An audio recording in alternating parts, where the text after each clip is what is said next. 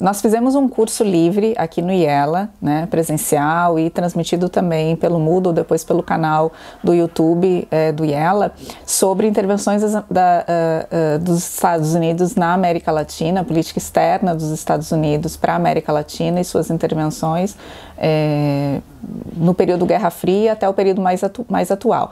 Essas aulas foram bastante densas, né? Foram longas, assim, a gente está falando de três, cerca de três horas, às vezes até mais.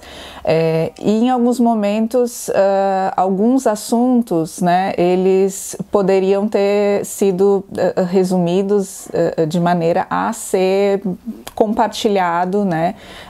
e extrapolado os muros da universidade. Então, o objetivo desse projeto agora da Operação Águia é justamente trazer alguns desses eventos que a gente analisou em profundidade nesse curso, é, trazer em vídeos curtos de até cinco minutos.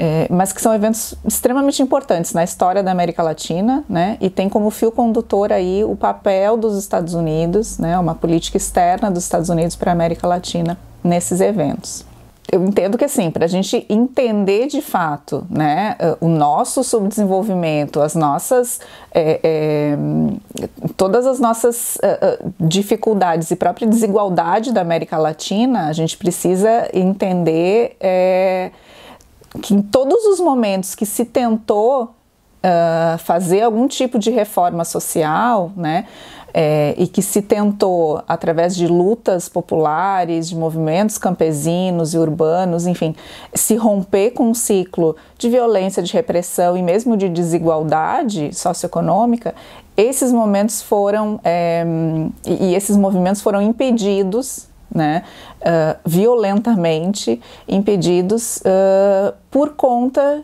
de uma elite econômica nacional, mas também que tinha apoio e às vezes até treinamento e financiamento de uma elite econômica e também é, é, é, política né, e militar nos Estados Unidos. Então, é, eu acho que para a gente entender a nossa situação hoje, é preciso olhar para trás e perceber também né, que todos esses momentos que se tentou é, uma via mais progressista, né, de menos desigualdade, de justiça social, esses movimentos foram é, impedidos.